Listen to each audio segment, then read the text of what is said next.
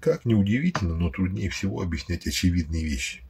Если человек не видит того, что находится у него перед глазами, значит, он этого не хочет видеть. То есть у него в сознании стоит какой-то блок. Французский философ Франсуа де Ларош-Фуко когда-то сказал, что поразительное сходство женщины с человеком не должно вводить нас в заблуждение. Мужчине кажется, что если женщина внешне на него похожа, то она должна точно так же мыслить, у нее должны быть точно такие же моральные принципы, должны быть точно такие же ценности в жизни и так далее. То есть мужчине кажется, что женщина будет реагировать на происходящее и вести себя точно так же, как в этой ситуации отреагировал бы и повел себя он. Но на самом деле женщина от мужчины отличается гораздо больше, чем, например, iPhone отличается от смартфона на андроиде. Внешне они вроде бы похожи, издалека даже не отличишь. Но железо и программное обеспечение совершенно разные.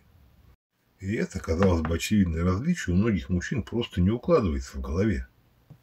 А потом они удивляются, а почему женщина так поступила? Да просто потому, что по-другому поступить она не могла.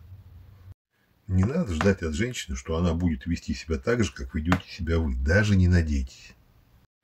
При общении с женщиной всегда нужно понимать, с кем вы имеете дело.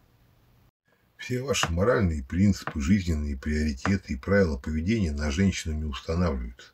Точно так же, как не устанавливаются приложения из магазина Apple на Android. Многим мужчинам кажется, что женщины ведут себя как-то неправильно. Да нет.